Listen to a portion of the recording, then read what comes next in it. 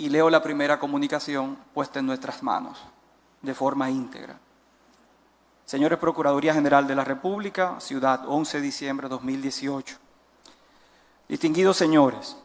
como ciudadana preocupada por el curso que están tomando en nuestro país los procesos contra la corrupción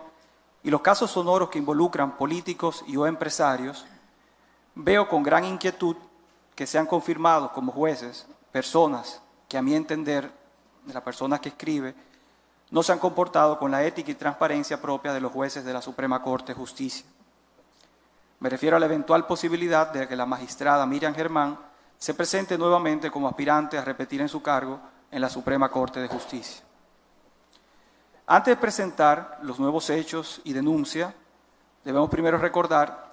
que desde mediados del año 2017, justo antes de que fueran apresados los imputados del famoso caso Odebrecht, circuló en las redes sociales y en algunos medios de comunicación la versión de que la magistrada Miriam Germán Brito sostenía frecuentes reuniones con el imputado Víctor Díaz Rúa en su villa en San José de Ocoa. Posteriormente, la magistrada Miriam Germán reconoció mediante comunicación de fecha 23 de mayo del 2017, que fue publicada en todos los medios, tener una relación de amistad con Díaz Rúa y pidió que en caso de que el llamado caso de Brecht llegue a la Suprema Corte de Justicia, no ser considerada para ninguna participación, ni como juez de instrucción especial, ni como miembro del Pleno, si llegara el caso,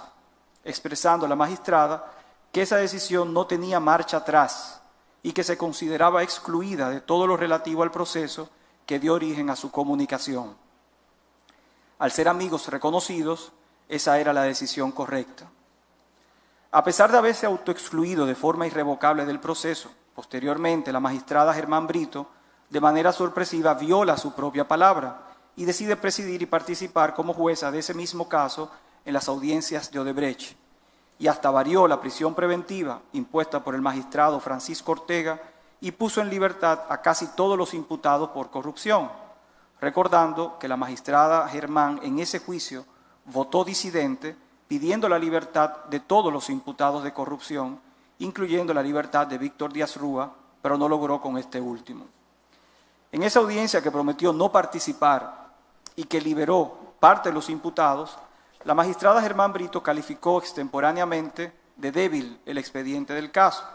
vertiendo consideraciones propias de un abogado de la defensa de los imputados, lo cual es extraño, pues el expediente había sido depositado dos días antes en el tribunal, pero había sido subido apenas dos horas antes de la audiencia a su oficina, por lo que es totalmente imposible que ella pudiera haber leído un expediente de miles de páginas en dos horas y preparar un documento concluyendo que se trataba de un expediente débil. Esos mismos argumentos, casualmente, fueron utilizados también por los abogados de los imputados como si fuera una estrategia conjunta.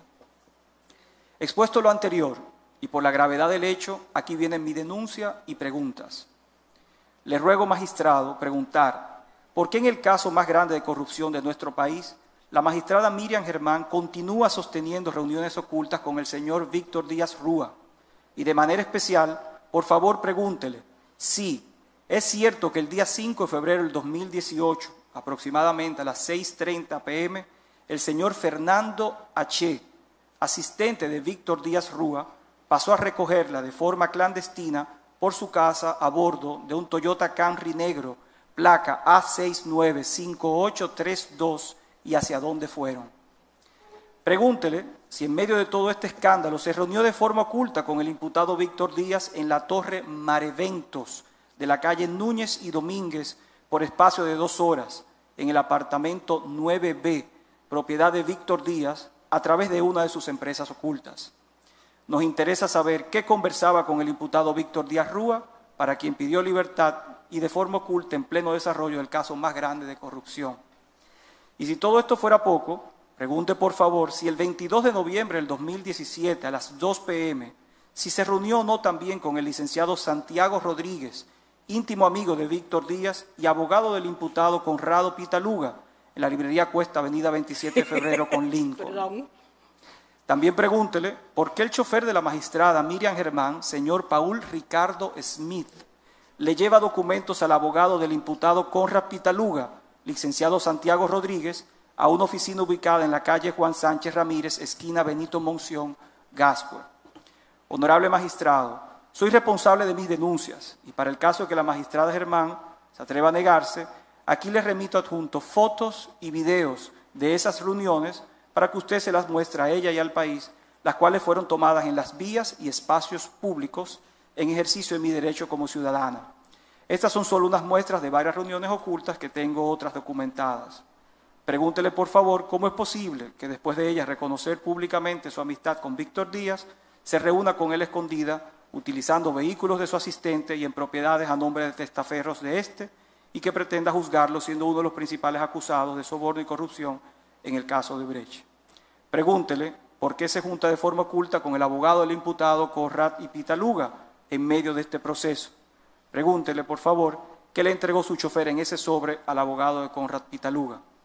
Pregunte, por favor, si esa amistad es tan inocente, ¿por qué deben reunirse escondidas? Pero además pregunte con qué finalidad se realizan dichas reuniones ocultas. Eso, si no es ilegal, es de poca ética y transparencia y merecemos unas respuestas. Ojalá que ella aclare todo esto ante el Consejo Nacional de la Magistratura.